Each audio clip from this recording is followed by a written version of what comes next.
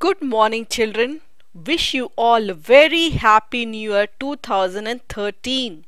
Today, the date is 1st January 2013, and the new year starts from today.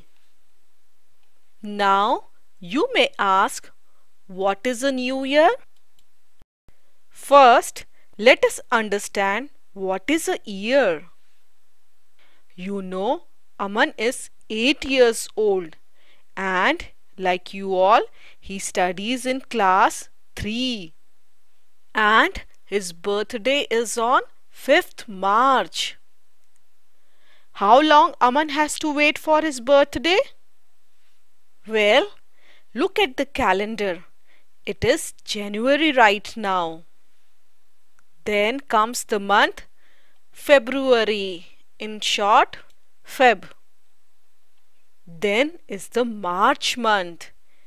In March, see, there are days 1, 2, 3, 4, 5. Yes, 5th of March. This is Aman's birthday. See, there are 1, 2, 3, 4, 5, 6, 7, 8, mm, 31 days in the month of March.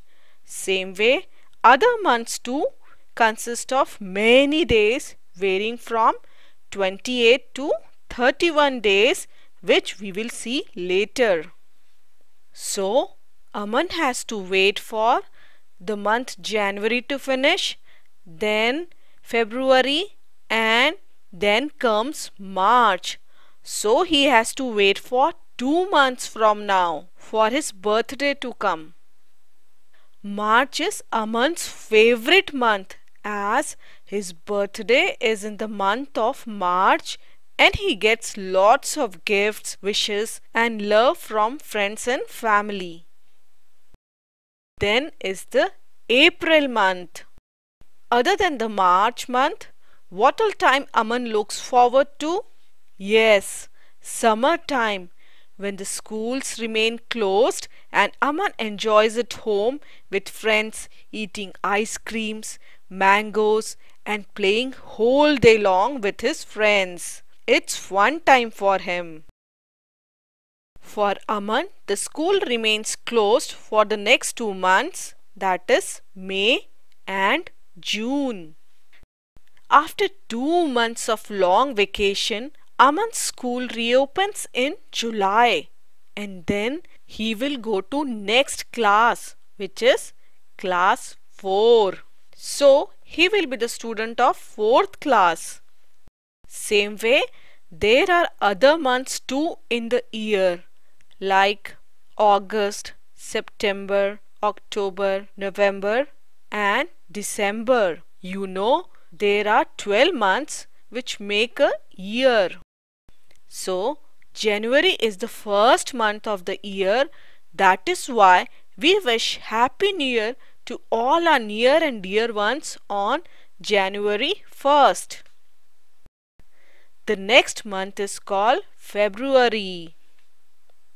Then comes the month March. Then is the April month. Next comes May. Which is the next month? It is June.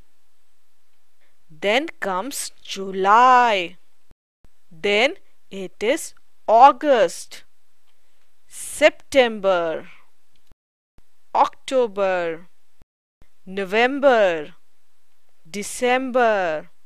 Yes, December is the last month of a year.